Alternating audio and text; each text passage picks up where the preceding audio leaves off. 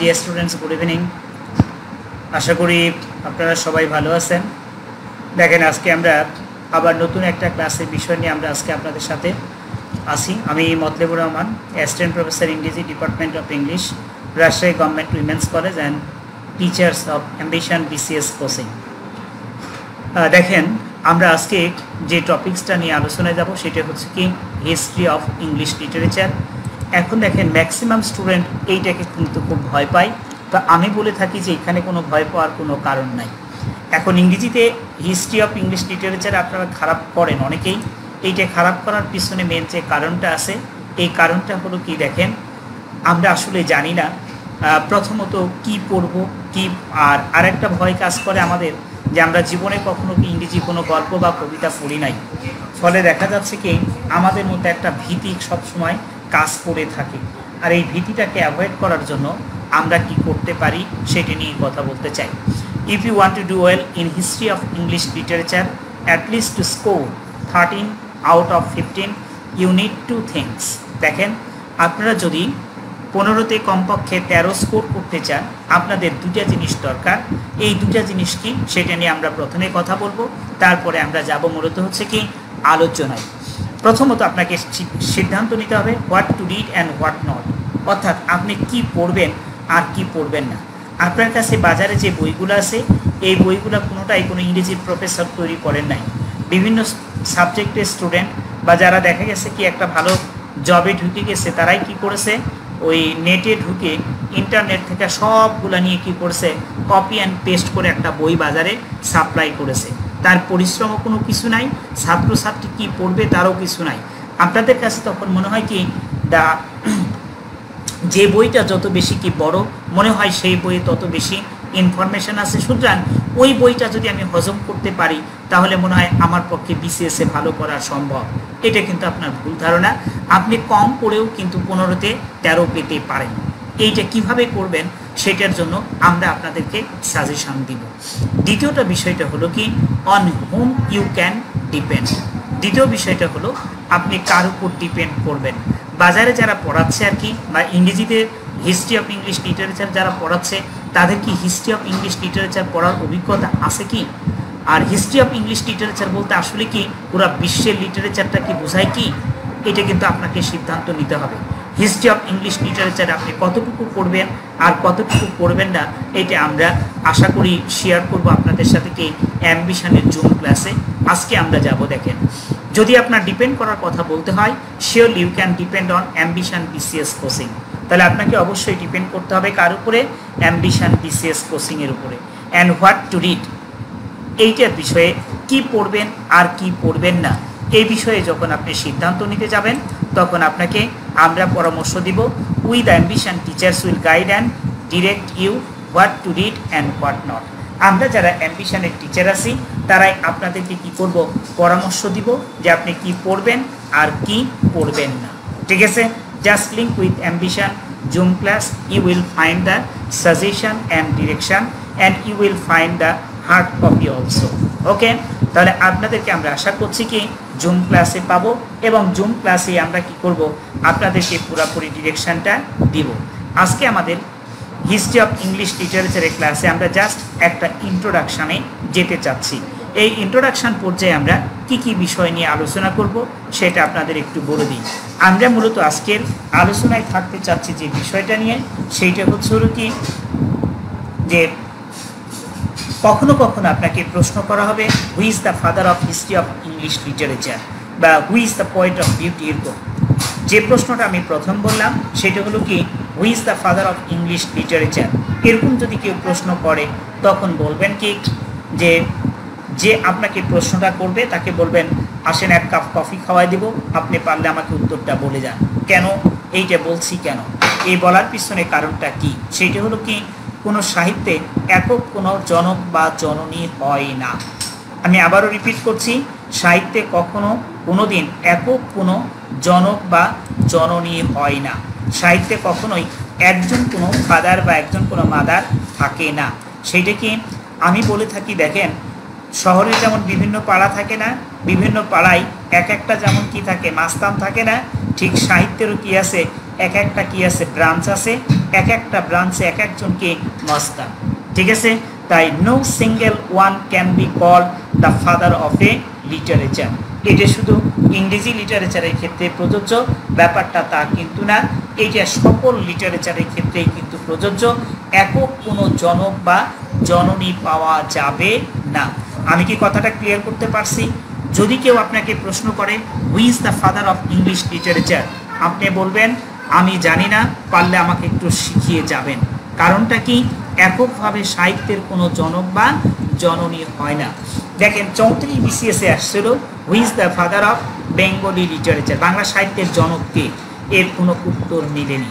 ওই রবি ঠাকুরের সেই শেষ শেষের একটা কবিতা আছে আর কি, যে দিনের প্রথম সূর্য প্রশ্ন করেছিল কে তুমি? মিলেনি উত্তর। ঠিক একই রকমভাবে who is the father of a literature এরও কিন্তু কোনো কি মিলবে না, উত্তর মিলবে না কি। ঠিক আছে? এইটা আর কি। এবারে দেখা যাক a literature consist of different branches and each branch has specific major writer দেখেন, প্রত্যেকটা সাহিত্যের কি আছে? ওকে এক একটা কি, অনেকগুলো কি তার ব্রাঞ্চ থাকে এবং প্রত্যেকটা ব্রাঞ্চে কিছু মেজর রাইটার থাকে।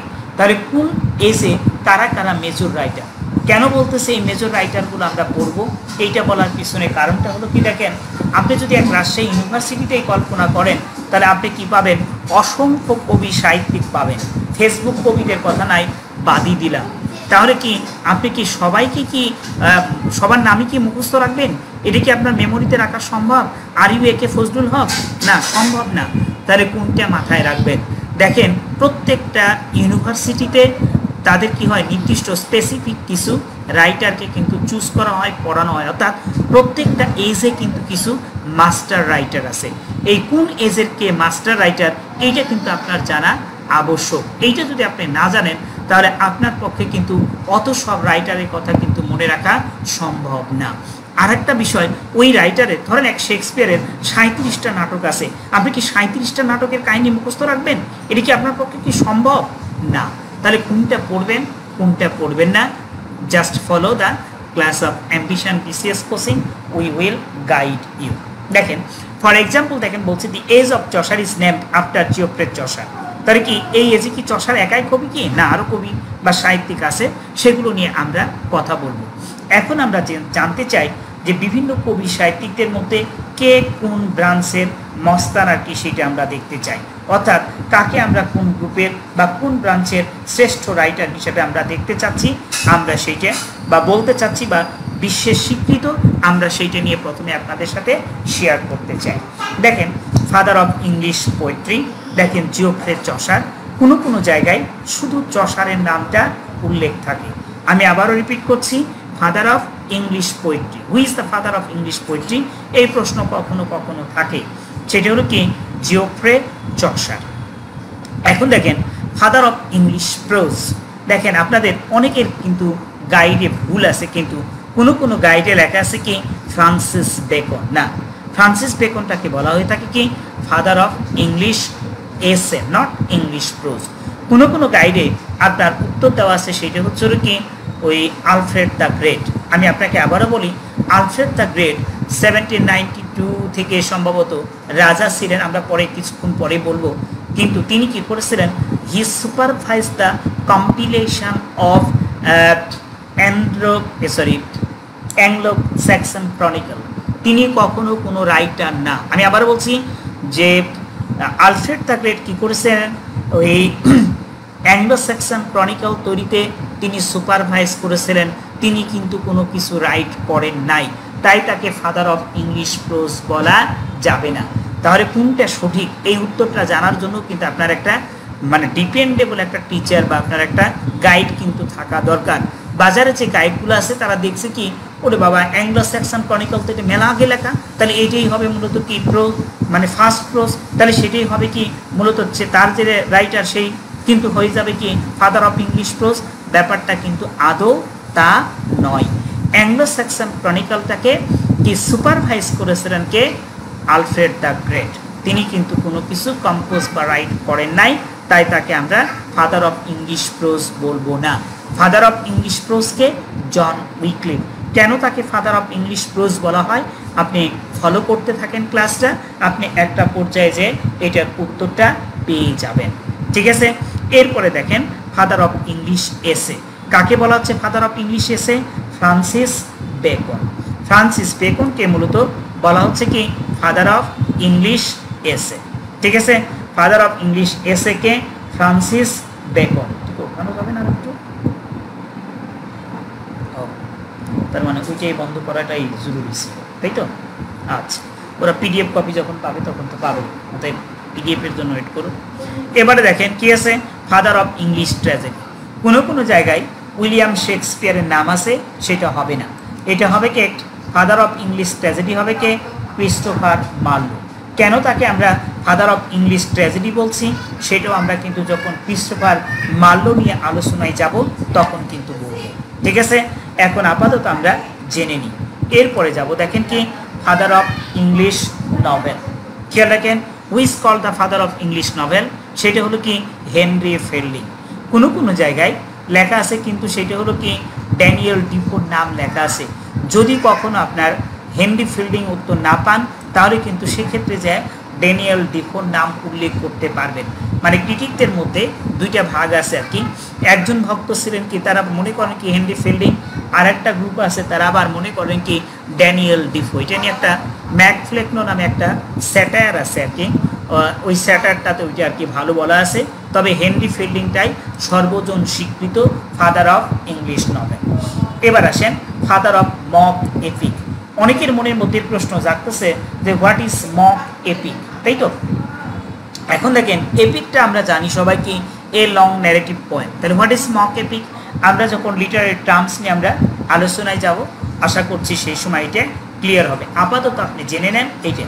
মানে এখান থেকে আজকে যে অংশটা পড়াচ্ছি আমরা সাবটাইটেল অফ ডিফারেন্ট রাইটার্স বা নিক নেম বা তাদের যে বিভিন্ন নাম বলা হচ্ছে, এই নামগুলো থেকে আপনি একটা প্রশ্ন পাবেন। ঠিক আছে? এদের মধ্যে থেকে একটা প্রশ্ন কিন্তু আপনি পাবেন পরীক্ষায়, বলা যেয়ে থাকে আর কি। এবারে দেখেন, তার father of mock এপিকটাকে Alexander Pope father of romantic poetry William Wordsworth যদিও তার সাথে ছিলেন কে? Samuel Taylor Coleridge father of metaphysical poetry sir metaphysical poetry বুঝি না, তাহলে আবার কি বুঝব? দেখা দেখা যাক, আস্তে আস্তে বুঝবেন। একবারে বুঝতে চেষ্টা করেন না, তাহলে বদহজম হবে আর কি। কে তিনি? John Donne. Father of dramatic monologue Robert Browning এবার আসেন কি? Father of modern drama George Bernard Shaw বা জিবি শ এই প্রশ্নটা বহুবার কিন্তু পরীক্ষায় আসছে who's the father of modern drama তাহলে জর্জ বার্নার শ সংক্ষেপে তাকে মূলত বলা হয় থাকে কি? জিবি শ জিবি শ এবার আসেন পোয়েট অফ দ্য পোয়েটস কবিদের কবি কাকে বলা হয়? Edmund Spenser poet of nature এটা বহুবার পরীক্ষায় আসছে, সেটা হলো কে? William Wordsworth poet of nature এটা বহুবার পরীক্ষায় আসছে, খেয়াল রাখেন তারপরে আসছে কি? পোয়েট অফ বিউটি এটাও বহুবার পরীক্ষায় আসছে সেইটাকে সেটা John Keats poet of beauty এখন দেখেন, রিবেল পোয়েট লর্ড বাইরন বা পার্সি বিশি শেলি। দেখেন, দুজনকেই মূলত বলা হয়ে থাকে কি? বিদ্রোহী কবি। আমাদের যেমন কি কাজী নজরুল আসেন বিদ্রোহী কবি, ঠিক একই রকমভাবে কি ইংরেজি সাহিত্যের বিদ্রোহী কবি বলা হয়ে থাকে লর্ড বাইরন এবং পরবর্তীতে কি পার্সি বিসি শেরি। আমাদের কাজী নজরুলকে মূলত তুলনা করা হয়ে থাকে কি is the Byron of Bangladesh. এরকম বলা হয়ে থাকে বা শেলি অফ বাংলাদেশ, এরকম বলা হয়ে থাকে। তাহলে আপনারা মাথায় রাখবেন যে ইংরেজি সাহিত্যের রিভেল পোয়েট বা বিদ্রোহী কবি কয়জন আছে? দুইজন। একজন আছে কে? লর্ড বাইরন আর একজন আছেন কে? পার্সি বিশি শেরি। ওকে? তাহলে এইটা গেল কি? রিবেল পয়েন্ট কি? এবার দেখেন, আসেন কি? Elegiac point. এলিজিয়াক পয়েন্টটা কারা? যারা এলিজি বা শোক গাথা লিখে থাকেন, তাদেরকে মূলত বলা হয়ে থাকে কি? Elegiac poet. আমি আবারও রিপিট করছি, যারা শোক গাথা লিখতে, লিখে থাকেন আর কি, শোক প্রকাশ করে কবিতা লেখেন, তাদেরকে মূলত বলা হয়ে থাকে কি? Elegiac poet. Matthew Arnold. ম্যাথিউয়ের স্পেলিংটা কিন্তু খেয়াল রাখবেন এম এ টি টি এই সি ডাব্লিউ ম্যাথিউ আর্নল্ড। ঠিক আছে? স্পেলিংটা কিন্তু খেয়াল রাখবেন। ম্যাথিউ আর্নল্ড কিন্তু আবার বড় মাপের একজন ক্রিটিকও আর কি। এটা কিন্তু খেয়াল রাখবেন আর কি। আমরা পরবর্তীতে তার নাম নিয়ে যখন মানে ভিক্টোরিয়ান এজ নিয়ে যখন আলোচনায় যাব, তখন আবার এটাকে আলাদা বলব আর কি। দেখেন সাইকোলজিক্যাল পোয়েট কে? Robert Browning. তাহলে রবার্ট ব্রাউনিং এর নাম আমরা কয় জায়গায় পাচ্ছি? দুই জায়গায় পাচ্ছি, দেখেন। একটা পাচ্ছি কোথায়?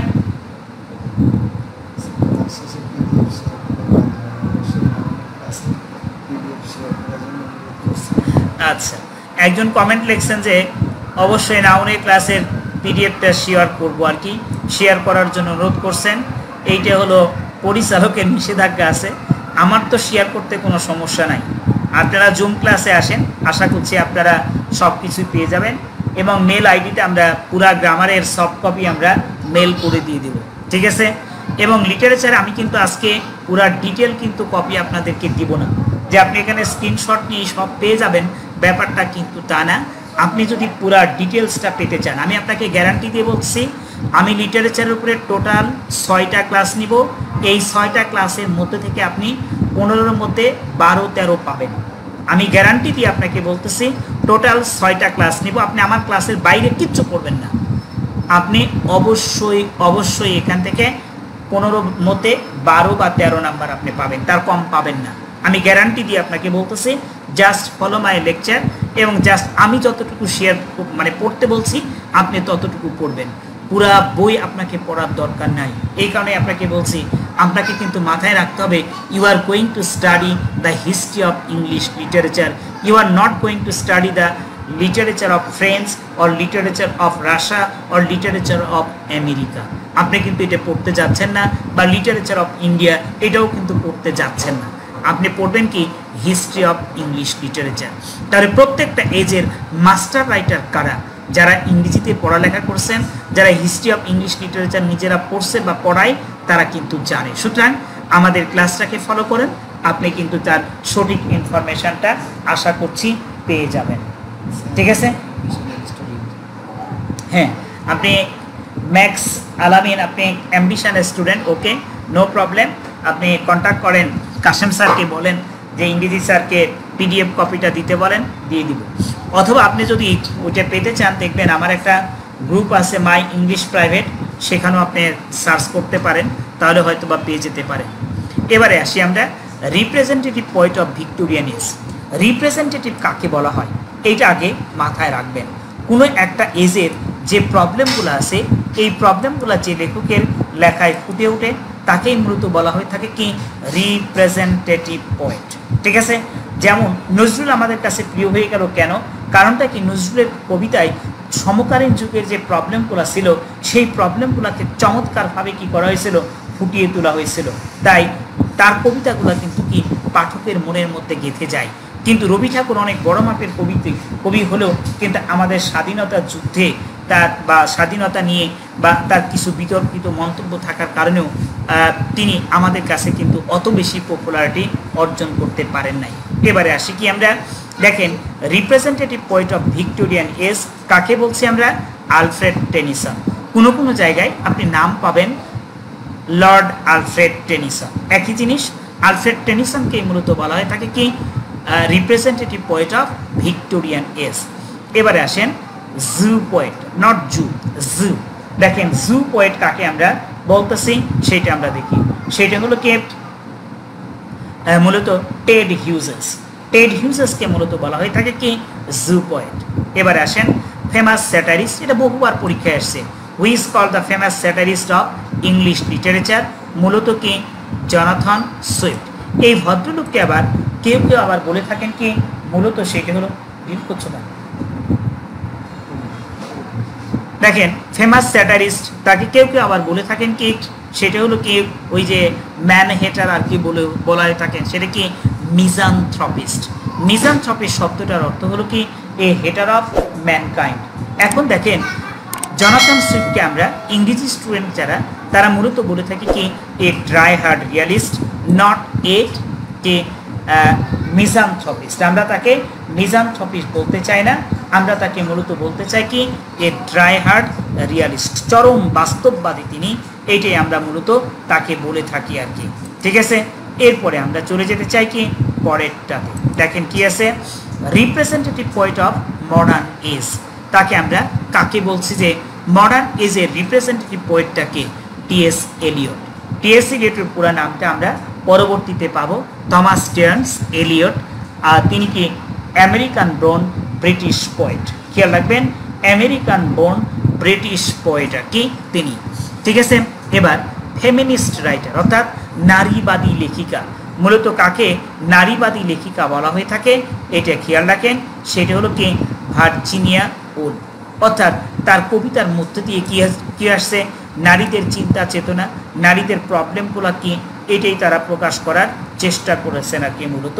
তাই তাকে মূলত বলা হয়ে থাকে কি ফেমিনিস্ট রাইটার ওকে তাকে বলা হচ্ছে কি ফেমিনিস্ট রাইটার কে? Virginia Woolf. এবারে আসেন, লেক পোয়েটস।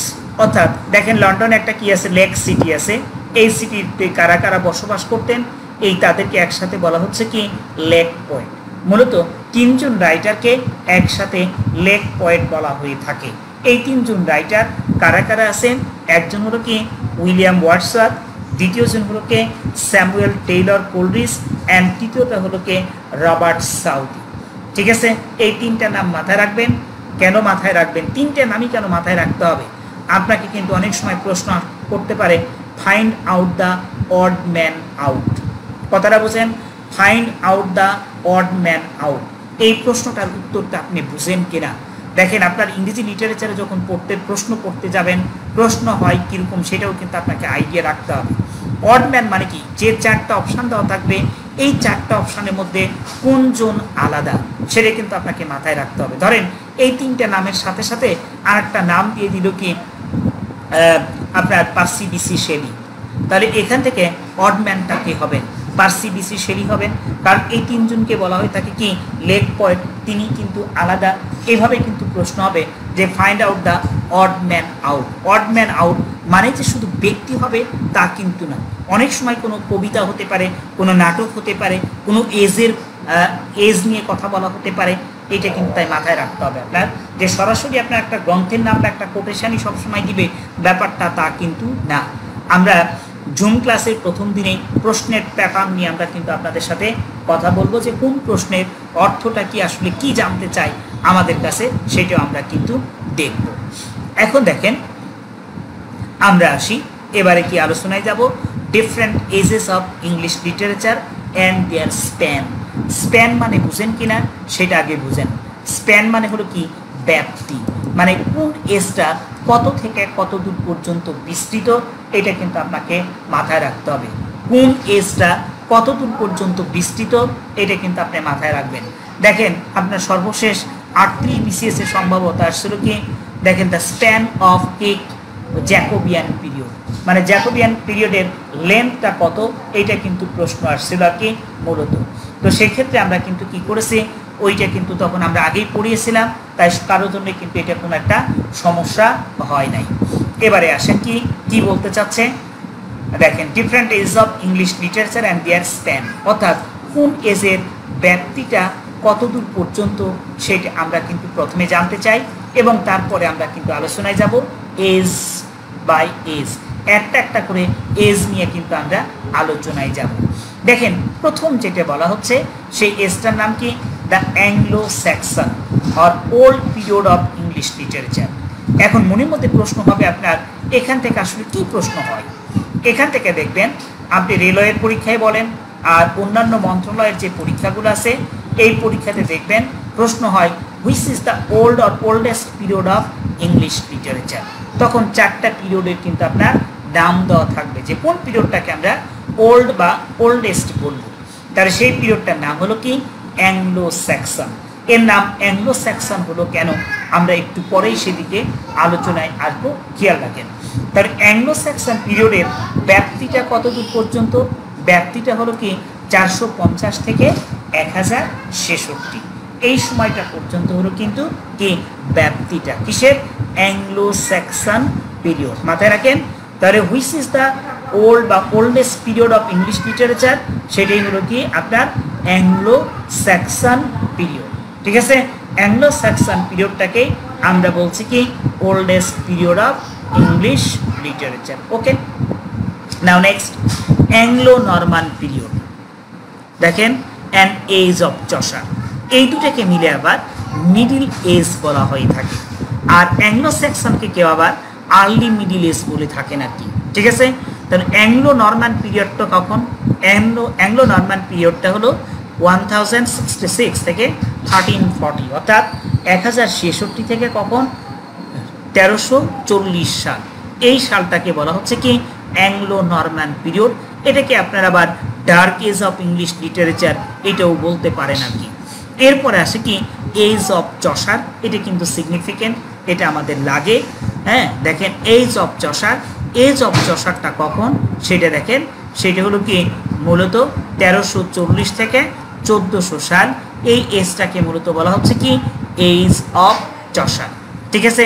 যারা হিস্ট্রি অফ ইংলিশ লিটারেচারটাকে রপ্ত করতে চাচ্ছেন, তারা প্রথম থেকে এই ক্লাসটাকে কিন্তু ফলো করবেন এবং যতটুকু পড়ানো হচ্ছে, এতটুকু মাথায় রাখার চেষ্টা করবেন। আজকে আমরা কোনো টেক্সট নিয়ে ধরে ধরে আলোচনা করছি না। আজকে আমরা জাস্ট সামারাইজ করতে যাচ্ছি বা ইন্ট্রোডাকশন একটা ক্লাসের মতো আর কি এইটা আমরা এরপরে ক্লাসে কিন্তু আমরা এজ বা রাইটার ধরে ধরে এক একটা টেক্সট ওই টেক্সটের শর্ট সামারিটা কি, ওই টেক্সট থেকে কি কি কোটেশান থাকতে পারে এবং মানে মেন ক্যারেক্টারটাকে এগুলো প্রত্যেকটা ধরেই কিন্তু আমরা আলোচনা করব যাতে আপনাদের ওই আলোচনার বাইরে অন্য কোনো কিছু পড়ার দরকার না হয় আর কি। এবার দেখেন age of renaissance age of renaissance যদিও দেখবেন আপনার, চোদ্দোশো তেপ্পান্নতে রেনেশাটা শুরু হয়ে থাকে। কিন্তু এর মূল প্রভাবটা দেখা যায় পনেরোশো থেকে ষোলোশো সাল। অর্থাৎ এলিজাবেথ এলিজাবেথান এজ বা জ্যাকোবিয়ান এজ থেকে শুরু করে মোটামুটি আপনার হলো ওই নিওক্লাসিক্যাল এজের আগ পর্যন্ত তার কিন্তু মানে প্রভাবটা কিন্তু পরিলক্ষিত হয়। তাহলে এজ অফ রেনেশা এর ব্যাপ্তিটা যদি কখনো আসে, তখন আপনাকে বলতে হবে পনেরোশো থেকে ষোলোশো সাল। যদিও শুরু হয়েছিল কখন বললাম আমরা? চোদ্দোশো তেপ্পান্নতে। চোদ্দোশো তেপ্পান্নতে কেন? With the fall of Constantinople আপনারা কনস্ট্যান্টিনোপলের নাম জানেন। এটা কি ছিল? বাইজেন্টিয়াম সভ্যতার একটা ক্যাপিটাল সিটি ছিল। যেখানে বসবাস করতেন কারা? এই ক্লাসিক্যাল লিটারেচার মানে তৎকালীন যুগের পণ্ডিতরা। এবং তাদের দখলে ছিল কি? ক্লাসিক্যাল লিটারেচারের আসলে কি? অরিজিনাল ভলিউম আর কি। যাই হোক ওটা নিয়ে আমরা পরের স্টেজে আলোচনায় যাব রেনেশা নিয়ে। তখন আমরা ওইটাকে ক্লিয়ারলি বুঝাবো আর কি। এবার আসেন Elizabethan age. Queen Elizabeth first, যাকে মূলত বলা হয় তাকে কি? Virgin queen. তার নাম অনুসারে এসটার নামকরণ করা হয়েছে এবং এটার ব্যাপ্তি কখন? পনেরোশো আটান্ন থেকে ষোলোশো তিন সাল।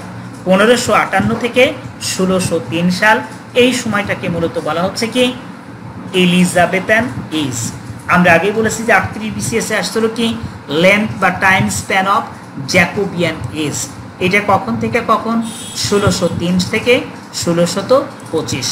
অর্থাৎ sixteen hundred and three to sixteen hundred twenty five এইটা আসছিল আপনার সম্ভবত আটত্রিশ বিসিএসে যে জ্যাকোবিয়ান এজের ব্যাপ্তিটা কতটুকু পর্যন্ত আর কি। ঠিক আছে? এবারে আসেন কি? ক্যারোলাইন এজ ক্যারোলাইন এজটা কখন? ষোলোশো পঁচিশ থেকে ষোলোশো উনপঞ্চাশ সাল। এই এজটাকে বলা হচ্ছে কি? ক্যারোলাইন ক্যারোলাইন এজ চার্লস ফার্স্টের নাম অনুসারে মূলত নাম করা হয় কি? ক্যারোলাইন। আর জেমস ফার্স্টের নাম থেকে নাম আসছে জ্যাকোবিয়ান। জেমসের ল্যাটিন ভার্সানটা হলো ইংলিশ নাম জেমস, তার ল্যাটিন ভার্সানটা হলো জ্যাকোব। আর জ্যাকোব থেকে এই নামটা আসছে কিন্তু জ্যাকোবিয়ান। চার্লসের ল্যাটিন ফর্মটা হলো ওই চার্লসের ল্যাটিন ফর্ম থেকেই আসছে কিন্তু ক্যারোলাইন। এবার আসেন কি? Commonwealth period. আজকে যে আমরা রিপাবলিকান কনসেপ্টের কথা বলি না, গণপ্রজাতন্ত্র, এই কনসেপ্ট আসছে কিন্তু মূলত কি? ক্যারোলাইন এস থেকেই কিন্তু আসছে আর কি সরি কমনওয়েলথ পিরিয়ড থেকে কিন্তু আসছে, ঠিক আছে ও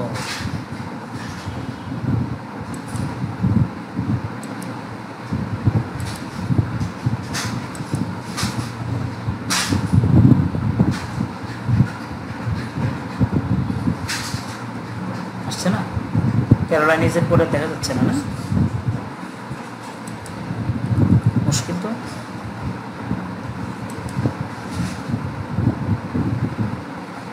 দেখেন ক্যারোলাইন এজের পরে আছে একটা হলো কি কমনওয়েলথ পিরিয়ড ওকে সমস্যা নাই, আমি কেটে নিয়ে পরের পেজে দেখাচ্ছি। হ্যাঁ দেখা যাচ্ছে না। ঠিক আছে, আমি পরের পেজে দেখাচ্ছি এটা। দেখেন কমনওয়েলথ পিরিয়ডটা দেখা যাচ্ছে না আমাদের, আমরা এটা নিয়ে পরের পেজে আমরা দেখাচ্ছি। ওকে নো প্রবলেম দেখেন, আমাদের পরেরটাতে আছে হলো কি? কমনওয়েলথ পিরিয়ড কমনওয়েলথ পিরিয়ডটা কখন? এবার দেখেন, আশা করি দেখা যাবে আর কি। দেখেন কমনওয়েলথ পিরিয়ডটা কখন? থ্যাংক ইউ শামিম যে ধরিয়ে দেওয়ার জন্য যে ওইটা নিচের দিকে দেখা যাচ্ছিল না। কমনওয়েলথ পিরিয়ড কমনওয়েলথ পিরিয়ডটা কোন জায়গা থেকে, কখন থেকে কখন? ষোলোশো উনপঞ্চাশ থেকে ষোলোশো ষাট। এইটাকে মূলত বলা হয় থাকে কি? কমনওয়েলথ পিরিয়ড যার যেটা নিয়ে আমরা কথা বলতেছিলাম, আজকে যে আমরা গাল গল্প করে বেড়াই কি? গণপ্রজাতন্ত্রী বাংলাদেশ, ঠিক একই রকম কি? গণপ্রজাতন্ত্র বা রিপাবলিকান যে কনসেপ্ট আছে, এই কনসেপ্টটা নিয়ে যে আমরা কথা বলি, এই কনসেপ্টটা আসছে কিন্তু আসলে কমনওয়েলথ পিরিয়ড থেকে। কমনওয়েলথ পিরিয়ডের যিনি রাজা ছিলেন আর কি, বা অলিভার ক্রমওয়েল তিনি মূলত কি করেছিলেন? রাজার একনায়কতন্ত্রের বিপক্ষে ছিলেন আর কি। অর্থাৎ একই রকমভাবে কি এই আন্দোলনটাকে সমর্থন দিয়ে গেছিলেন কে? আমাদের কবি সাহিত্যিকদের মধ্যে জন মিল্টন। ঠিক আছে? এইবার আমরা পরেরটাতে আসি কি? The restoration period. এখন আপনার কাছে মনে হতে পারে রেস্টোরেশন আবার কি? কি আবার সংরক্ষণ করবে? এটা নিয়ে আপনার মনের মধ্যে প্রশ্ন জাগতে পারে। Restoration period restoration means restoration of the monarchy এই ষোলোশো উনপঞ্চাশ থেকে ষোলোশো ষাট সাল পর্যন্ত ইংল্যান্ডে কিন্তু কোনো রাজা ছিল না। অর্থাৎ রাজতন্ত্রটা ছিল না, রাজা ছিল বটে, কিন্তু কোনো রাজতন্ত্র ছিল না। অর্থাৎ এই সময় ছিল কি, যারা রাজা ছিলেন তারা বিশ্বাস করতেন কি, ওই যে জনগণ সকল ক্ষমতার উৎস। কিন্তু রাজতন্ত্র বিশ্বাস করে কি king is the representative of God and king can do no wrong. অর্থাৎ রাজা হলো ঈশ্বরের প্রতিনিধি এবং রাজা কোনো ভুল করতে পারেন না। এই মতের থেকে তারা বেরিয়ে আসছিলেন যে সকল ক্ষমতার উৎসকে জনগণ আর কি, সেইটা আর কি। এটাতে মতেই বিশ্বাসী ছিলেন কে? কমনওয়েলথ পিরিয়ডের যে রাজা ছিলেন, অলিভার ক্রময়েল এবং তার ছেলেকে ছিলেন? রিচার্ড ক্রময়েল রেস্টোরেশন পিরিয়ডে মানে কি, আবারও কি ষোলোশো ষাট সালের পরে ইংল্যান্ডে আবারও রাজতন্ত্র চালু হয়। এবং এই রাজতন্ত্রটা কি চলতে থাকে কখন পর্যন্ত? ষোলোশো আটাশি সাল পর্যন্ত। এই ষোলোশো আটাশি সালে কি হয়? ইংল্যান্ডে একটা ব্লাডলেস রেভলিউশন ঘটে। দেখেন, ইংল্যান্ডে একটা বিনা রক্তপাত একটা অভ্যুত্থান ঘটে থাকে। এই অভ্যুত্থানের মাধ্যম দিয়ে কি হয়? ওই চার্লস সেকেন্ডের ভাই, জেমস সেকেন্ডের ক্ষমতার অবসান ঘটে এবং ইংল্যান্ড আবারও কিন্তু সেই পূর্বের প্রিয় অবস্থায় চলে যায়।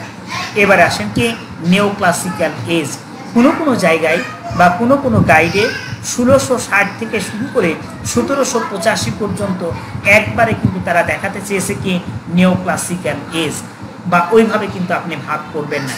আপনি প্রত্যেকটা আলাদা আলাদা ভাগ করে কিন্তু আপনি মাথায় রাখবেন। হ্যাঁ প্রত্যেকটা ভাগ আলাদা আলাদা করে আপনি কি করবেন? মাথায় রাখবেন। ঠিক আছে? দেখা যাক নিউ ক্লাসিক্যাল এজটা তাহলে কোন পিরিয়ড থেকে কোন পিরিয়ড পর্যন্ত? সতেরোশো থেকে সতেরোশো পঁচাশি, এই পর্যন্ত আমরা বলছি কি নিউ ক্লাসিক্যাল এজ ঠিক আছে? কখন থেকে কখন? সতেরোশো থেকে সতেরোশো পঁচাশি। কেন হলো? আমরা এজগুলাকে নিয়ে যখন আলোচনায় যাব, তখন আমরা বলব। এবারে আসি আমরা কি? রোমান্টিক এজ রোমান্টিক এজটা কখন থেকে শুরু? সেভেন্টিন নাইনটি এইট থেকে eighteen thirty two seventeen ninety eight থেকে এইটিন থার্টি টু এই পিরিয়ডটাকে মূলত বলা হচ্ছে কি রোমান্টিক এইজ রোমান্টিক এজটা কেন নামকরণ হলো সেটা আমরা পরবর্তীতে দেখব। এবারে আসি কি দ্য ভিক্টোরিয়ান এজ ভিক্টোরিয়ান এজটা কিন্তু নিয়ে কিন্তু কি আছে? মতভেদ আছে। একদিকে আছে কি পলিটিক্যালি কখন থেকে শুরু? আর হিস্ট্রি মানে লিটারেচারে কখন থেকে শুরু? লিটারেচারের শুরু আঠারোশো বত্রিশ থেকে উনিশশো এক। আমি আবারও বলছি, লিটারেচারের শুরু আঠারোশো বত্রিশ থেকে উনিশশো এক। কিন্তু হিস্ট্রিতে কিন্তু এটার মধ্যে ডিফারেন্স আছে। হিস্ট্রিতে ডিফারেন্স কেন আছে ডিফারেন্স থাকার পিছনে কারণটা কি? এই ডিফারেন্স থাকার পিছনে কারণটা হলো, এই এজটার নামকরণ করা হয়েছে কিন্তু কুইন ভিক্টোরিয়ার নাম অনুসারে, যাকে মূলত বলা হয়ে থাকে কি? প্রথম ওই ব্রিটিশ ভারতের রানী তাকে বলা হয়। তিনি ইংল্যান্ডের ক্ষমতায় আসেন আঠারোশো সাঁইত্রিশ সালে। যেহেতু তার নাম অনুসারে এসটার নামকরণ, তাই এটাকে বলা হয়ে থাকে ভিক্টোরিয়ান এজ তাই ইতিহাসে ভিক্টোরিয়ান এজটা শুরু আঠারোশো সাঁইত্রিশ সালে। আমি আবারও রিপিট করছি, কেন ইতিহাসে আঠারোশো সাঁইত্রিশ সালে এটা শুরু? আঠারোশো সাঁইত্রিশ সালে হওয়ার পিছনে কারণটা কি? আঠারোশো সাঁইত্রিশ সালে কুইন ভিক্টোরিয়া ইংল্যান্ডের ক্ষমতায় আসেন। তাই তার নাম অনুসারে এসটার নামকরণ করা হয়। কিন্তু লিটারেচারে এটা আবার আলাদা। লিটারেচারে আলাদা হওয়ার পিছনে কারণটা কি?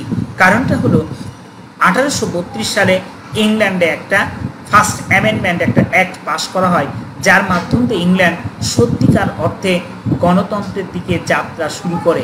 এখন যেটা আমরা দেখতেছি ইংল্যান্ডে ওয়েস্ট মিনিস্টার যেটা ডেমোক্রেসি যেটাকে আমরা বলি তার সূত্রপাত হয় কিন্তু সেই ফার্স্ট অ্যামেন্ডমেন্ট অ্যাক্টের মাধ্যম দিয়ে আর কি। এবং মূলত হচ্ছিল কি, তখন থেকেই কিন্তু মূলত গণতন্ত্রের পথে যাত্রা শুরু করেছে ইংল্যান্ড। তাই লিটারেচারের শুরু আঠারোশো বত্রিশে, কিন্তু হিস্ট্রিতে শুরু আঠারোশো সাঁত্রিশে তাহলে আমি আবারও বলছি হিস্ট্রিতে শুরু আঠারোশো সাঁত্রিশে কিন্তু লিটারেচারের শুরু আঠারোশো বত্রিশে। এখন কথা হলো কি, আঠারোশো বত্রিশ থেকে উনিশশো এক বা আঠারোশো থেকে উনিশশো এক। তবে কারও কারও মধ্যে কিন্তু ঝামেলা আছে, কেউ কেউ মনে করে থাকেন যে রোমা এরপরে ভিক্টোরিয়ান এজটা আঠারোশো সাল পর্যন্ত পঞ্চাশ সালে শুরু হয়েছে। কেউ কেউ বিশ্বাস করে থাকেন এরা কারা। এরা হলো কি উইলিয়াম ওয়ার্সওয়াতের ফলোয়ার। তারা মনে করে থাকেন কি উইলিয়াম ওয়ার্সওয়াত যতদিন বেঁচে ছিলেন, ততদিন রোমান্টিক কেস ছিল। উইলিয়াম ওয়ার্সওয়াতের মৃত্যু হয় আঠারোশো পঞ্চাশ সালে। ফলে আঠারোশো পঞ্চাশ সাল থেকে মূলত কি কেউ কেউ তারা ভাবতে শুরু করছে আর কি। কিন্তু আসলে আঠারোশো পঞ্চাশ সালে না, আঠারোশো বত্রিশ বা সাঁত্রিশের পরে উইলিয়াম ওয়ার্সওয়াত আসলে তেমন কিছু কি লিখতে পারেন নাই। তার মূলত আর কি টিকে শুরু হয়ে যায় কি, তার জেনিয়াল স্পিরিট বা ক্রিয়েটিভ যেটা স্পিরিটটা এটা ডিকে বা ক্ষয় হয়ে যেয়ে থাকে। ফলে তিনি তখন পর্যন্ত তখন থেকে আর কিন্তু লিখতে পারেন নাই। এবারে আসব আমরা হচ্ছে কি মডার্ন এজ নিয়ে কথা বলব। দেখেন, আপনাদের যে গাইডগুলো আছে গাইডগুলোতে মডার্ন এজকে আবার ভাগ করেছে দুই ভাগে। একটাকে বলছেন এডওয়ার্ডিয়ান পিরিয়ড এডওয়ার্ডিয়ান পিরিয়ডকে তারা আবার দেখাচ্ছে কখন থেকে কখন? আমরা একটু দেখাই। আর আমি কেন কীভাবে বলতেছি, কিসের ভিত্তিতে বলতেছি? এডওয়ার্ডিয়ান পিরিয়ড তারা দেখাচ্ছে কি, কখন থেকে কখন, তারা দেখাচ্ছে কি, উনিশশো এক থেকে উনিশশো দশ। কথাটা বুঝেন। তারা দেখাতে চাচ্ছে কি, উনিশশো এক থেকে কত পর্যন্ত, উনিশশো দশ সাল পর্যন্ত তারা দেখাতে চাচ্ছে কি এডওয়ার্ডিয়ান পিরিয়ড। আর সাথে তারা একটা দেখাচ্ছেন কি, জর্জিয়ান পিরিয়ড হিসেবে তারা আলাদা ভাগ করে দেখাতে চাচ্ছেন। জর্জিয়ান পিরিয়ডটাকে তারা আবার বলতেছেন কখন? সেইটা হলো কি মূলত জর্জিয়ান পিরিয়ডটাকে তারা ভাগ করছেন উনিশশো দশ সাল থেকে উনিশশো সরি দেখেন, উনিশশো দশ সাল থেকে মূলত তারা দেখাতে চাচ্ছেন কি, উনিশশো উনচল্লিশ সাল পর্যন্ত। এইটাকে দেখাতে চাচ্ছেন, তারা মূলত দুই ভাগে ভাগ করেছেন কি মডার্ন এজটাকে আমরা বলতে চাই যে এইভাবে না, আমাদের এইভাবে না দেখিয়ে আমরা সরাসরি দেখাতে চাই কি মডার্ন এজের যে সিমটমগুলো আছে, এই সিমটমগুলো কখন থেকে পরিলক্ষিত হয়? From the beginning of the first world war এবং এই লক্ষণগুলো আমরা দেখি কোন পর্যন্ত? To the beginning of the second world war আবারও বলছি from the beginning of the first world war to the কি beginning of the second world war এই সময়টাতে মূলত আমরা কি মূলত মডার্ন এজের বৈশিষ্ট্যগুলো দেখতে পাই। পোস্ট মডার্ন কেউ কেউ আবার বলে থাকেন কি আলট্রা মডার্ন আমরা পোস্ট মডার্ন বা আধুনিক উত্তর যুগ বলে থাকি। আপনারা জুয়েল কিপিয়ার ক্লাস পড়লে বুঝবেন, সেটি হলো কি পোস্ট মডার্ন এজ বা কি বলতে চাচ্ছেন তারা, আধুনিক উত্তর যুগ। ইংরেজি লিটারেচারে কেউ কেউ এটাকে বলে থাকে পোস্ট কলোনিয়াল এজ কেন পোস্ট কলোনিয়াল এজ বলা হয়ে থাকে সেটা আগে বুঝেন। দেখেন, উনিশশো পঁয়তাল্লিশ সাল অর্থাৎ সেকেন্ড ওয়ার্ল্ড ওয়ার পর্যন্ত বিশ্বের বিভিন্ন দেশ, বড় বড় দেশগুলোর কিন্তু কী ছিল? কলোনি ছিল। যেমন আমরা ছিলাম কি? ব্রিটিশ কলোনির অধীনে। যেমন এরকম বড় বড় দেশগুলোর অধীনে, যেমন ফ্রান্সের কিছু কলোনি ছিল, ইটালির কিছু কলোনি ছিল, পর্তুগালের কিছু কলোনি ছিল, এরকম কলোনিগুলো ছিল উনিশশো পঁয়তাল্লিশ সাল পর্যন্ত। কিন্তু উনিশশো পঁয়তাল্লিশ সালে যখন সেকেন্ড ওয়ার্ল্ড ওয়ারটা শেষ হয়ে যাচ্ছে, সাথে সাথে কিন্তু কলোনির সেই পিরিয়ডটা কিন্তু শেষ হয়ে যাচ্ছে। তাই এটাকে মূলত বলা হচ্ছে কি? পোস্ট কলোনিয়াল পিরিয়ড এবং এখানকার লেখারও কিন্তু নির্দিষ্ট কিছু বৈশিষ্ট্য আছে। ঠিক আছে? তাহলে এগুলো সবগুলাই গেল কি? আমাদের মূলত হচ্ছিল কি? এজ নিয়ে আমরা আলোচনা করছি। পোস্ট কলোনিয়াল এজটা বা পোস্ট মডার্ন এজটা কখন? From the second world war till today ঠিক আছে? কখন? সেকেন্ড ওয়ার্ল্ড ওয়ার থেকে এখন পর্যন্ত এই এজটাকে আমরা মূলত বলছি কি? পোস্ট কি মডার্ন এইজ ঠিক আছে? আমরা দেখেন, এবারে আমরা আলোচনায় যাব কি? একটার পর একটা এজ নিয়ে আমরা আলোচনায় যাব। তাহলে দেখেন, আপনার যদি বলা হয়ে থাকে কখনো কি? সরি যে আপনার পোস্ট মডার্ন এজটা কোনটা? সেটা তাহলে আপনি কোনটাকে বলবেন? পোস্ট মডার্ন এজটা কোনটা? সেটা হলো কি আপনার? মূলত দেখেন পোস্ট মডার্ন এজটা কখন থেকে কখন, একটু খেয়াল রাখেন, নিচেরটা অংশ যেহেতু আপনারা দেখতে পান নাই, সেহেতু আমি এটাতে অ্যাড এখানে পেস্ট করে দিতে চাচ্ছি। দেখেন পোস্ট মডার্ন এজটা কোনটা? From the second world war till today অর্থাৎ দ্বিতীয় বিশ্বযুদ্ধ থেকে শুরু করে এখন পর্যন্ত যে এজটা এইটাকেই মূলত বলা হচ্ছে কি পোস্ট মডার্ন এজ আজকে পর্যন্ত তাহলে এটা কার অংশ পোস্ট মডার্ন এজের অংশ। ওকে তাহলে এইটা গেল আমাদের কি আলোচনায় মূলত কি? কোন এজের ব্যাপ্তিটা কোন পর্যন্ত? আমরা এবার আপনাদের সাথে আলোচনায় যেতে চাই কি? এক একটা এজ নিয়ে আমরা আলোচনায় যাব। অর্থাৎ কোন এজ কতদূর পর্যন্ত চলছে সেটা নিয়ে আমরা কথা বলব আর দেখেন, আজকে আমরা কিন্তু খুব বেশি ডিটেল আপনাদের কিন্তু আলোচনায় যাচ্ছি না। আমরা বেশি ডিটেল আলোচনায় যাব হলো জুম ক্লাসে আজকে জাস্ট আপনাদেরকে আগেই বলছি যে, এটা কিছুটা ইংরেজি মানে হিস্ট্রি অফ ইংলিশ লিটারেচারে কিছুটা কি ইন্ট্রোডাকশান করছে আজকে আপনাদের। ডিটেল আলোচনায় আমরা পাবো পরের ক্লাসটাতে তবে যতটুকু আমরা দিয়েছি স্লাইডগুলোকে যদি আমরা কি করে রাখেন, মূলত হচ্ছিল স্ক্রিনশট নিয়ে রাখেন। যারা পিডিএফ কপি চাচ্ছেন পিডিএফ না নিয়েও যদি আপনারা কি স্ক্রিনশট নিয়ে রাখেন, তাও কিন্তু আপনাদের অনেকটাই কাজে দিবে আর কি হ্যাঁ? বারবার দেখাচ্ছে যে আপনি কি করতে পারেন স্ক্রিনশটটা নিয়ে রাখবেন।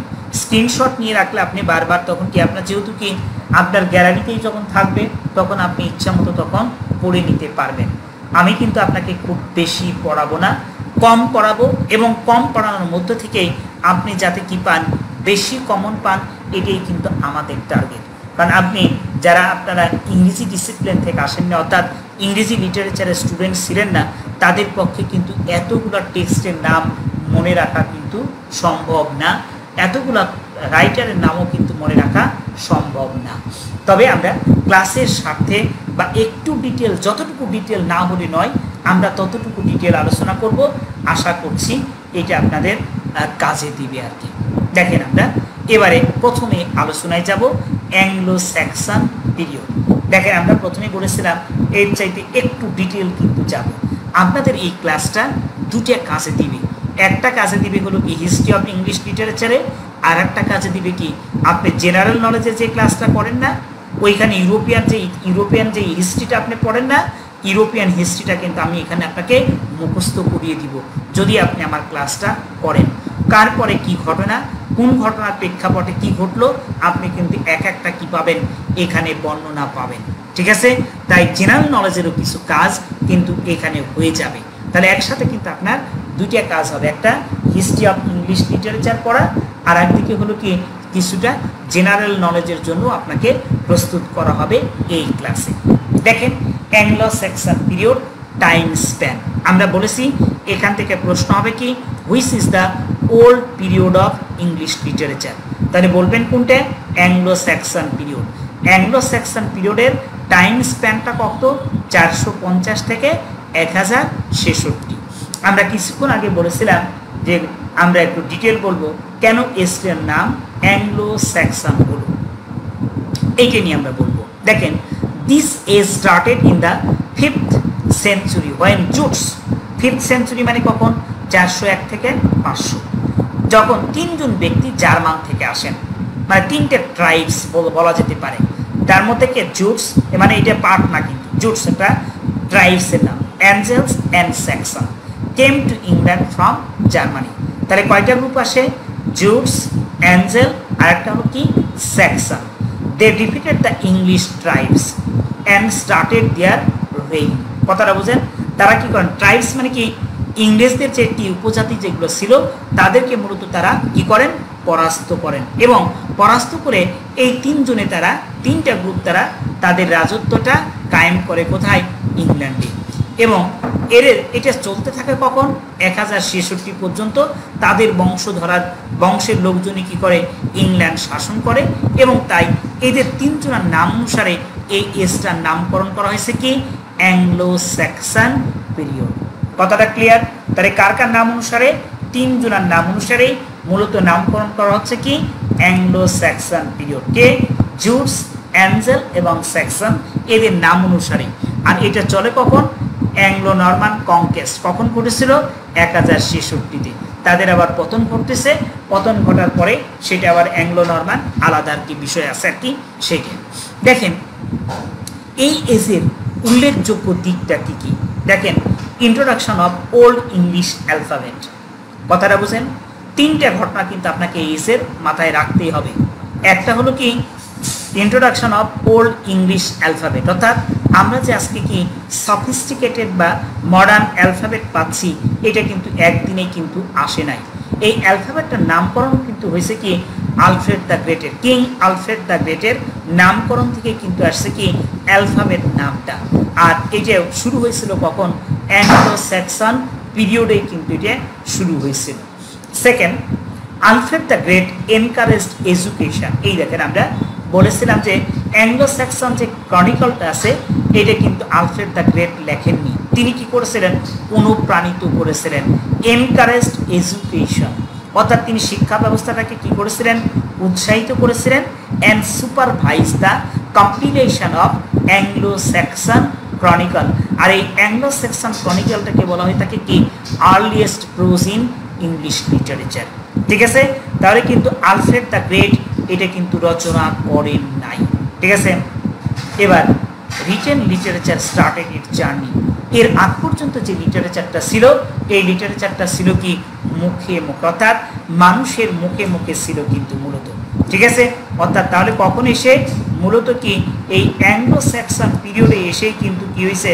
মূলত সাহিত্যটা লিখিত আকারে কিন্তু আসে। অর্থাৎ written literature started its journey ঠিক আছে? দেখেন, এটাকে দেখানোর জন্য আমি একটু ফন্টটা ছোট করে দিলেই আপনি অবশ্য দেখতে পাবেন। দেখেন দেখেন, এবার মনে হয় দেখা যাওয়ার কথা আর কি। দেখেন detail literature started its journey কখন যাত্রাটা শুরু করে? অ্যাংলো স্যাকসান পিরিয়ডে তাহলে অ্যাংলো স্যাকসান পিরিয়ড থেকে আমরা তিনটা জিনিস মনে রাখব। একটা হলো কি? Introduction of old English alphabet দ্বিতীয়টা কি? ওই যে compilation of Anglo Saxon chronicle আর এটাকে সুপারভাইজ করেছিলেন কে? দেখেন এটাকে মূলত সুপারভাইজ করেছিলেন কে? আলফ্রেড দ্য গ্রেট এবং কি? Written literature started its journeys written literature started its journey okay তাহলে কি তিনটা জিনিস আমরা মাথায় রাখব। এবার আমরা যেতে চাই, এইখানে আসলে লিটারেচারের কি কি ছিল আমরা সেইটা একটু দেখতে চাই। দেখা যাক কি ছিল। Major literary work of the period এই এজে আসলে কি কি লিটারারি অ্যাক্টিভিটিস ছিল সেটা আর কি? All literary works are written by anonymous writers মাথায় রাখেন অ্যানোনিমাস মানে কি? নামহীন। লিখিত লিটারেচার পাওয়া গেছে, কিন্তু কারা লিখেছেন এইটা কিন্তু পাওয়া যায় নাই। তাই এটাকে মূলত বলা হয়ে থাকে কি? অ্যানোনিমাস রাইটার তাহলে কেন অ্যানোনিমাস মানে কি? নামহীন। কে লিখেছে আমরা জানি না। ঠিক আছে? তাদের নাম ঠিকানা পাওয়া যায় নাই। তাই এটাকে বলা হচ্ছে কি? এক কথায় অ্যানোনেমাস রাইটার ঠিক আছে? তাই এক কথায় বলা হচ্ছে কি? অ্যানোনেমাস রাইটার ওকে নিচেরটা দেখেন, দেখতে পাবেন। একটু পরেই দেখতে পাবেন। আমরা ফন্টটা একটু ছোট করে নিলেই দেখতে পাবেন। ওকে বুঝতে পারছি আমরা যে কারও কারও ক্ষেত্রে হ্যাঁ দেখেন।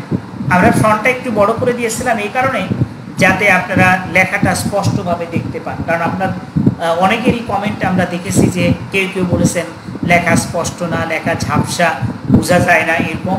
এই কারণে আমি ফ্রন্টটা দিয়েছিলাম। বত্রিশ সাইজে যদি আমি আঠাশ বা চব্বিশ করি, তাহলে কিন্তু আপনাদের কাছে দেখা যাবে বটে। তাহলে আপনাদের কাছে নিচের দিকে যে লেখাটা এটা থাকবে না আর কি দেখেন, কি আছে? তাহলে কি? মেজর লিটারারি ওয়ার্কসগুলো কি কি আছে? যে আমরা সেইটা দেখি। তাহলে সেটা আছে কি?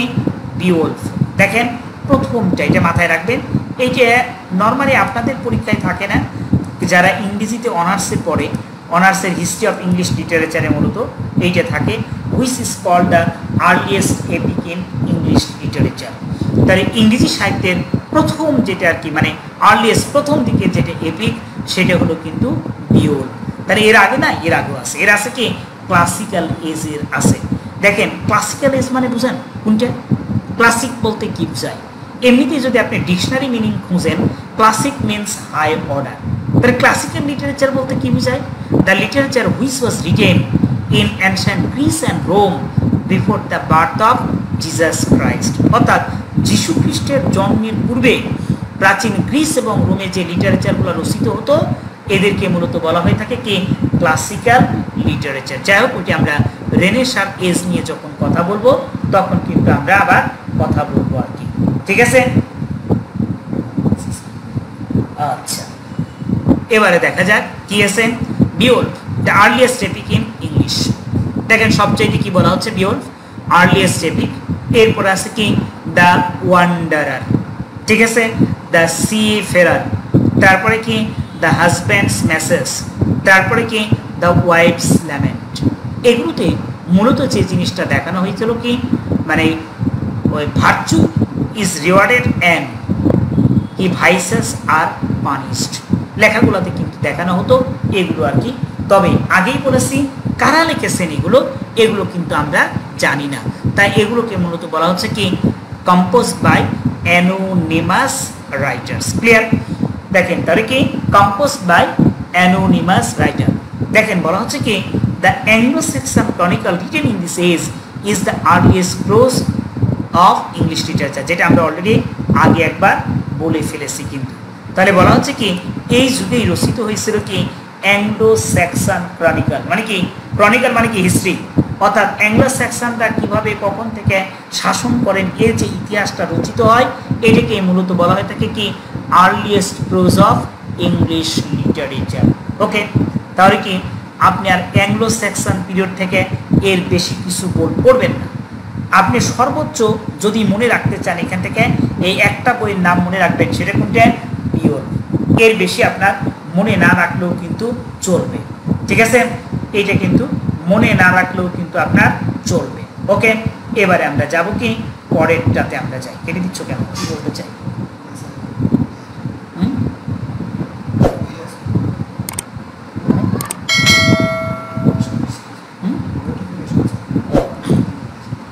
এবার আসি আমরা কি?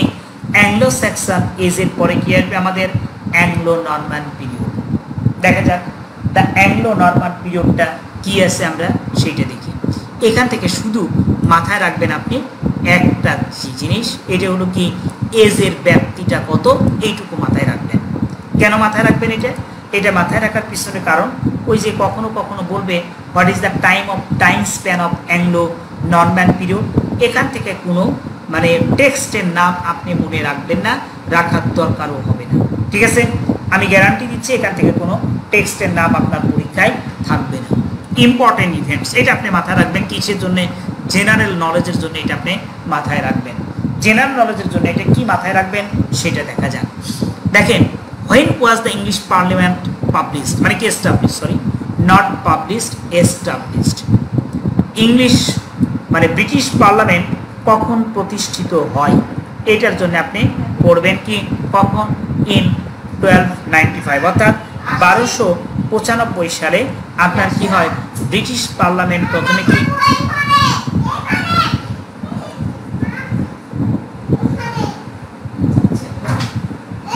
ব্রিটিশ পার্লামেন্টটা প্রতিষ্ঠিত হয় বারোশো পঁচানব্বই সালে। এরপরে দেখেন ক্রুসেট হোয়াট ইজ ক্রুসেট ক্রুসেটটা কি? ধর্মযুদ্ধ। ঠিক আছে? ক্রুসেটটা কি? ক্রুসেটটা হলো ধর্মযুদ্ধ। The religious battle between Muslims and Christian took place in between eleventh and thirteen century এগারোশো থেকে, অর্থাৎ এক হাজার থেকে কি তেরোশোর মধ্যে এই সময়টাতে কি হয়? ক্রুসেট ঘটে আর কি। মুসলমান এবং খ্রিস্টানদের মধ্যে কিন্তু যুদ্ধ লাগতেই থাকে বা চলতেই থাকে আর কি। এবার দেখেন Magna Carta was passed on fifteen June twelve fifteen দেখেন ম্যাগনা কাটা কি? যেটা কি? দেখেন দলিল বলা হয়ে থাকে প্রথম আর কি। সেগুলো কি শাসনের ম্যাগনা কাটা? কখন তাহলে এটা স্বাক্ষরিত হয়? দেখেন বারোশো পনেরো সালে। ঠিক আছে? এইটা মাথায় রাখেন। ম্যাগনা কাটে। দেখা যাক। ম্যাগনা কাটা, তাহলে কখন? বারোশো পনেরো সালে। দেখেন no important literature was written মাথায় রাখার দরকার নেই। অত বেশি ইম্পর্টেন্ট কোনো কিছু নাই এখানে। সুতরাং এটা মাথায় রাখার আপনার দরকারও কিন্তু নাই। ওকে, এরপরে আমরা যেতে চাই কি? পরেরটা সেইটা হলো কি? দেখেন আমরা পরেরটাতে যেতে চাই। এজ অফ চষার এটা কিন্তু আপনাদের লাগবে। এজ অফ চষারটা কি? কেন আপনি এজ জব চষারটা করবেন? এটা জাস্ট আমরা একটু বলে নিই আগে। তারপরে আমরা যাব। এখান থেকে কিন্তু আপনার প্রশ্নটা কিন্তু শুরু। মনে করেন যে আপনার ফাইনাল পরীক্ষায় এইখান থেকে প্রশ্ন কিন্তু শুরু। দেখেন এখানে এজ অফ চষারটা কখন? তেরোশো চল্লিশ থেকে চোদ্দোশো। তাহলে এখানকার উল্লেখযোগ্য ঘটনাটা কি কি? এটা মাথায় রাখবেন। এইটা কিন্তু সব সময় জেনারেল নলেজেও কিন্তু লাগবে আর কি। দেখেন বলতে চাই? প্রথম কথা মাথায় রাখবেন কি, হান্ড্রেড ইয়ার্স ওয়ার, শতবর্ষব্যাপী যুদ্ধ কার কার মধ্যে হয়েছিল? জেনারেল নলেজের প্রশ্ন আসে, কোন দুই দেশের মধ্যে ঘটে? এটা আমি লিখে দিচ্ছি আপনাদের। দেখেন বিটুইন কার কার মধ্যে ঘটে? Between France and France and king Britain ঠিক আছে? এই দুই দেশের মধ্যে কিন্তু, অর্থাৎ ফ্রান্স অ্যান্ড ইংল্যান্ড এই দুই দেশের মধ্যে কিন্তু তখন আপনার প্রথম কি হান্ড্রেড ইয়ার্স যে ওয়ার্ডটা সেইটা হলো কিন্তু এই সময়ে কিন্তু ঘটে। ঠিক আছে? হান্ড্রেড ইয়ার্স ওয়ার্ডটা কখন ঘটতেছে তাহলে? সেইটা হলো কি?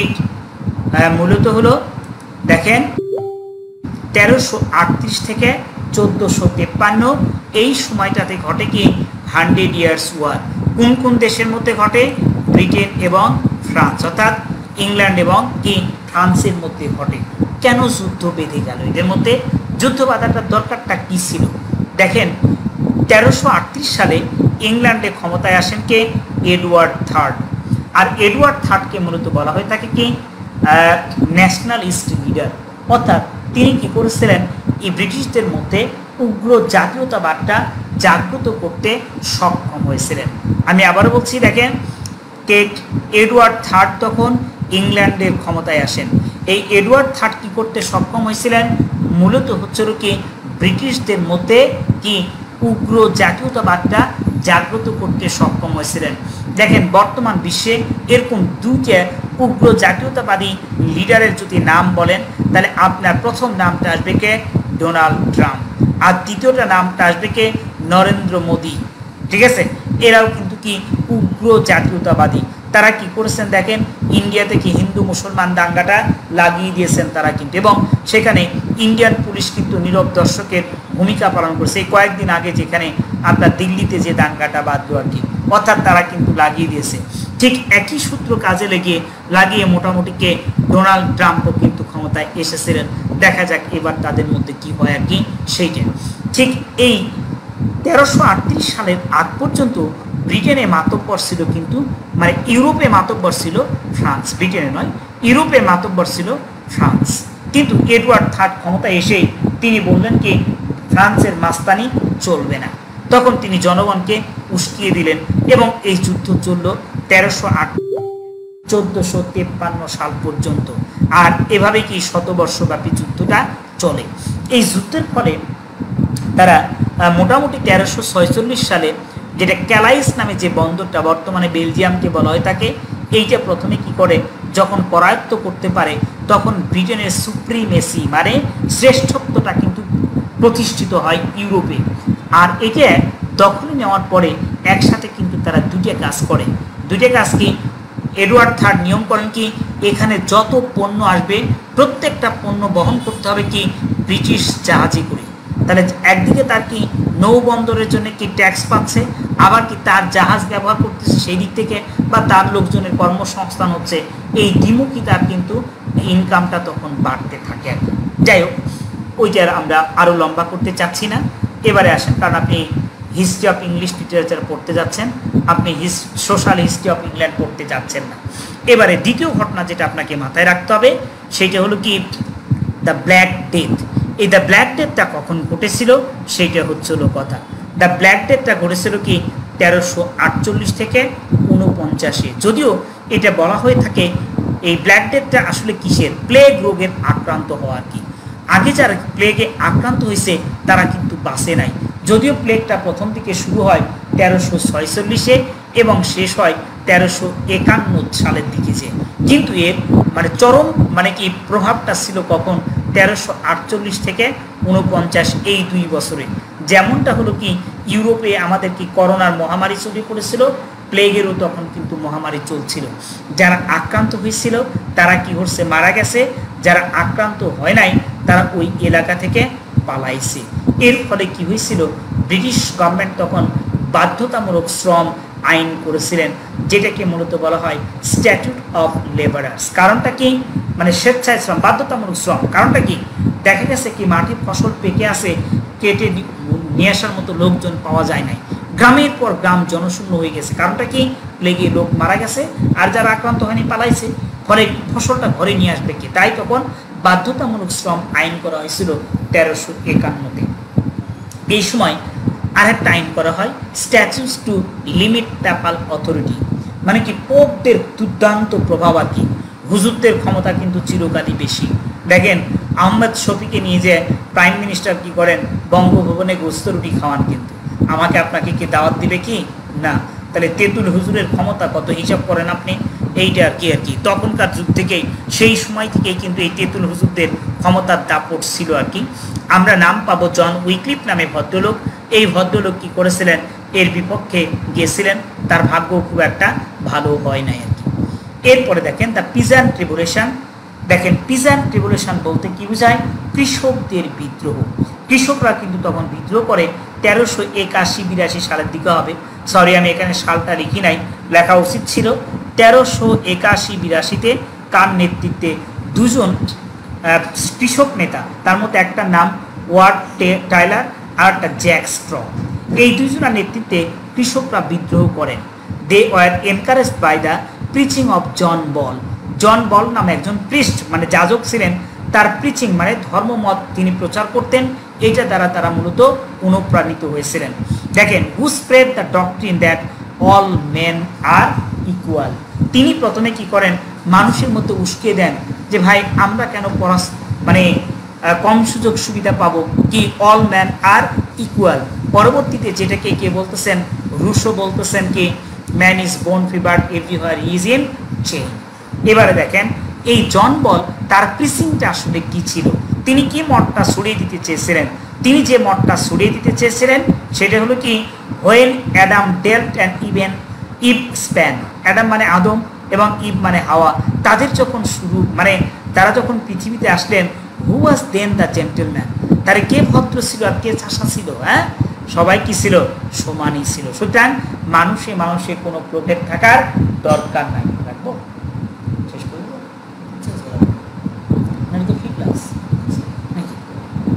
এরপর থেকে কিন্তু লিটারেচার কিন্তু ক্লাস অরিজিনাল ক্লাস তো যাই হোক, আমরা আজকে আর আগাতে চাচ্ছি না। আমরা এরপরে আশা করছি জুম ক্লাস শুরু করব এর পরের দিনে এবং জুম ক্লাসে আমরা এই জায়গাটা থেকে শুরু করব। দেখেন মেজর রাইটার্স আমরা একটু একটু করে কিন্তু ডিটেল যাব আর কি বিভিন্ন রাইটারদের নিয়ে। আজকে আমরা মোটামুটি এই পর্যন্ত রাখতে চাচ্ছি। থ্যাংক ইউ ভেরি মাচ যারা কষ্ট করে আমার বকবকানি শুনেছেন হ্যাঁ? আমার বকবকানিগুলো কষ্ট করে শোনার জন্য হ্যাঁ? আপনাদেরকে ধন্যবাদ এবং কৃতজ্ঞতা